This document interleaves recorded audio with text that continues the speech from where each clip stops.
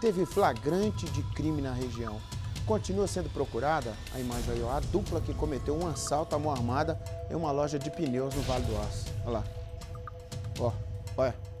Ó. Olha o pavor de quem tá ali sob a mira de uma arma, olha. Olha lá, sai puxando, é o que? É pulseira, relógio, ouro. E naturalmente a pessoa estende a mão e diz assim, por favor, fica tranquilo, não, fica tranquilo, não desespera não. Pode levar o relógio, pode levar o celular. Tá aqui meu cartão de crédito, a senha é essa. Vai com Deus. Mas não puxa esse gatilho não. Olha, olha, emprego de violência, isso é roubo.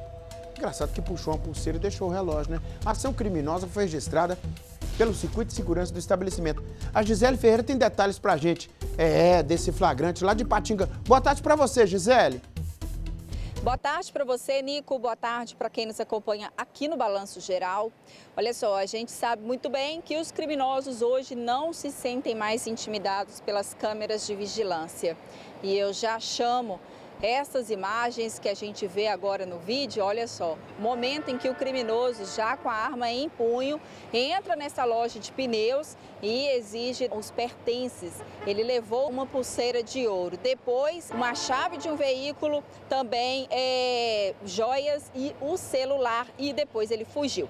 Durante essa fuga, ele acabou deixando para trás, né? Ele largou o celular, jogou o celular no chão, que foi encontrado depois pela própria vítima, mas com a tela completamente danificada. Uma pessoa contou para a polícia que conseguiu perseguir os criminosos, que inclusive eram dois, né? Um ficou do lado de fora na moto e o outro entrou com a arma em punho. Ele tentou perseguir os criminosos, porém ele perdeu de vista quando eles acessaram o bairro Esperança, em Ipatinga. Eles ainda não foram encontrados, Nico. Ah, mas serão encontrados, né, Gisele? A imagem ajuda a identificar alguém que tenha, está acompanhando o balanço geral. Ah, que ele é o fulano, entendeu? Ah, vai, conta aí através do, do 181. Tô curioso para cantar, e Gabigol, sempre falo isso aqui, né? 181 é o disco de denúncia unificado e o 190. Você pode falar tudo que você viu.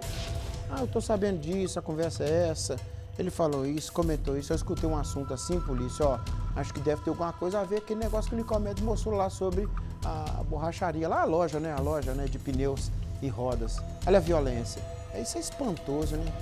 Ô, Gabigol, você tá sem o curió aí? Será que o Valbo apagou o curió? Que o Valbo ficou uns dias aí, né? Põe o curió pra cantar, deixa eu ver se tá aí ainda.